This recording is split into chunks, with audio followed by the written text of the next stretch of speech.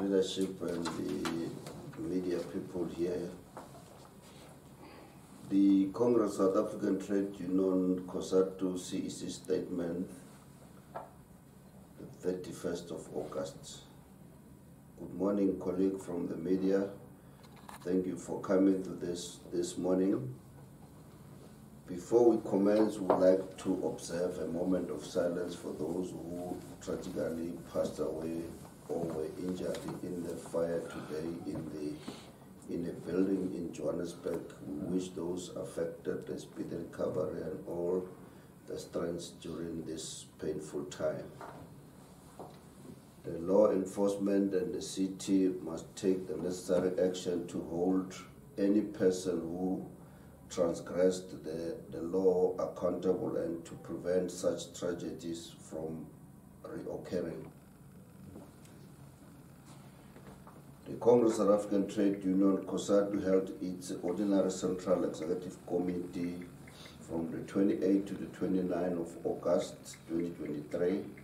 The CEC is an opportunity for the Federation and affiliates to report on the work done to defend members and advance the interests of workers, to reflect on the many socio-economic challenges facing the nation and develop a proposal on how they can be resolved. The CEC took place whilst the working class is under siege on many fronts. Whilst we have seen some progress on the unemployment front, it remains a ticking bomb ticking time bomb when four out of ten South Africans and six out of ten youth cannot find work. Despite government efforts since 1994, we remain the world's most unequal nation. We even seen poverty levels rising as workers. Wages are eroded by a spike in, in inflation massive mm-hmm. hikes to the rate, to the rate, repo rate and employers reneging on wage agreement.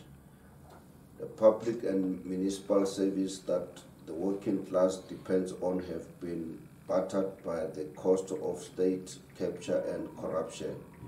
Key state-owned enterprise, in particular Eskom, Transnet, Prasa, the post office remain embedded and pose a threat to the millions of workers, jobs and livelihood. The CEC re received reports on worrying development in the labor market and and a rising tendency of employers to undermine collective bargaining, abandon the signed wage agreement, and impose wage freeze on workers who are already drowning in, in debt and not able to provide for their families. We are up, up, upheld by the state of local government where 36 municipalities roundedly failed to pay their staff and some even defrauding statutory deduction, e.g. pension and medical aid funds. Tshwane municipality refused to honor a two-year wage agreement, um, agreement and has purged more than 100 staff who dared to express their grievances. Newcastle and Enoch Mgijima municipalities have now indicated their intent to follow suit.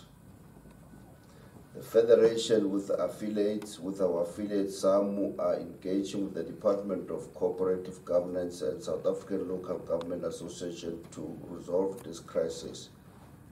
If it continues, it threats it threatens labor market stability across local government when communities are desperately for access to basics, basic service.